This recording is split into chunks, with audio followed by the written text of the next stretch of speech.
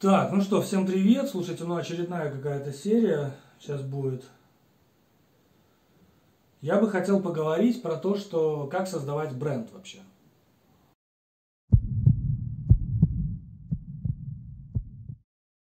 А, что такое бренд? Ну, есть понятие бренд компании, есть понятие личностный бренд, да, это когда типа сам основатель является лицом компании, сам является как бы олицетворением компании, да.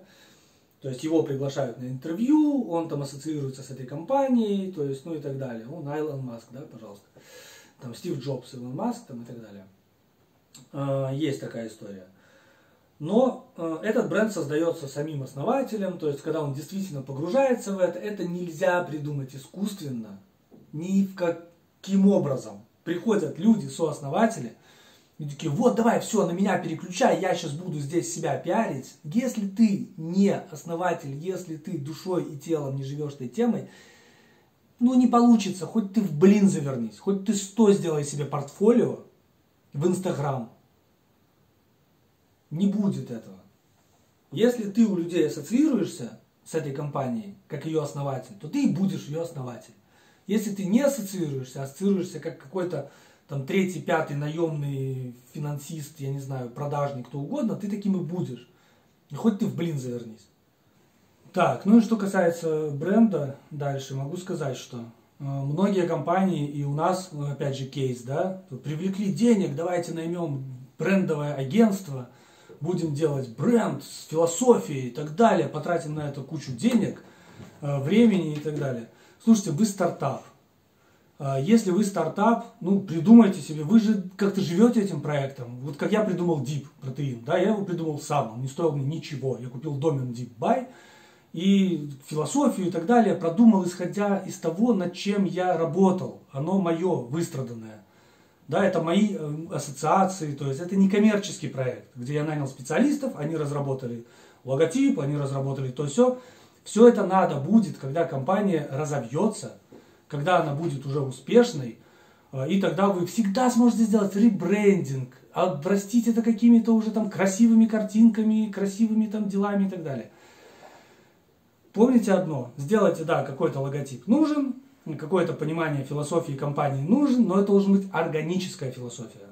То, ради чего вы делаете этот проект. Вот. А уже в дальнейшем потом как бы, ну, можете его развивать, э, ребрендинг и так далее. Не тратьте на это денег. Это тоже один из моментов э, правильной траты денег в дальнейшем. Вот. Это тоже будут ценить инвесторы. Можно хотеть дорого-богато, сразу все, офис, хороший бренд, хорошая философия, все красиво, богато, а по факту убыточная компания. Нет. Четко, сейчас не те времена. Сейчас никого ты не э, прельстишь, так сказать, какими-то красивыми там моментами. Сейчас э, в тренде и всегда в тренде, и тем более в стартапе, в тренде это простота, качество и прибыльность, перспективность развития проекта. Вот об этом я хотел сказать. Поэтому развивайте сами. И маркетинг, такая же история. Не надо вам там маркетинговое агентство, там какие-то соцсети, проплаченные там инстаграмы, кучу денег тратить на видосы какие-то, которые снял, смонтировал, сделал. Если ты этого не можешь сделать сам, не надо это, на это тратить огромные деньги. Это могут себе позволить крупные, успешные компании. Пока ты стартап, делай это э, аккуратненько, сам, тихо, мирно, доноси людям суть своей э, продукции, суть своего продукта, своей компании, так как ты это понимаешь. Потому что если ты сам этого не понимаешь, тебе для этого нужны какие-то специалисты, то тогда, наверное, не основатель ты компании ты не понимаешь, чем она занимается. Ты не можешь это выразить в словах, в каких-то визуальных вещах и так далее. Вот это хотелось бы сказать, что касается именно бренда и маркетинга. А, ну, соответственно, там и реклама такая же история, да, да, какой-то момент приходит, когда надо вкладываться в рекламу. А, какие-то недорогие виды рекламы сейчас есть. Там не надо сразу замахиваться, вот я сейчас пропиарю свой продукт в инстаграм-канале какого-то очень там ведущего чувака за какие-то деньги и так далее. Не надо. Ваша идея должна пиарить себя сама. Если она приносит какую-то ценность, если она несет в себе ценность, если она приносит какую-то пользу людям, Если она решает их проблему, то это и есть ценность твоей компании, это и есть ее философия. Мы решаем вот эту проблему человечества или вот эту проблему конкретного клиента. Не надо ничего надумывать, не надо ничего э, окружать какой-то мистикой, какими-то там наращивать какую-то массу вокруг, которая, ну, будет очевидна для всех уже, ну, не те времена. Сейчас дорого-богато – это не признак качественного бренда. Сейчас есть простые бренды, которые действительно решают проблему, которые действительно нужны людям. А, потом дальше ребрендинг, и когда уже успешная компания, да, может позволить себе обрасти какими-то там визуальными красотами. Вот. И глубиной там философской какой-то мысли, чрезмерной глубиной. Вот это то, что хотелось бы сказать по поводу бренда.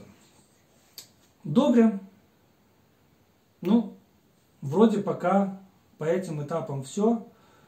Э, будем дальше писать видосы о том, что будет происходить дальше на вашем пути, так сказать. Надеюсь, я правильно расставляю приоритеты в видео, надеюсь, я правильно акцентирую свое внимание и ваше внимание, да, чтобы избежать каких-то лишних трат, каких-то ненужных, так сказать, векторов развития.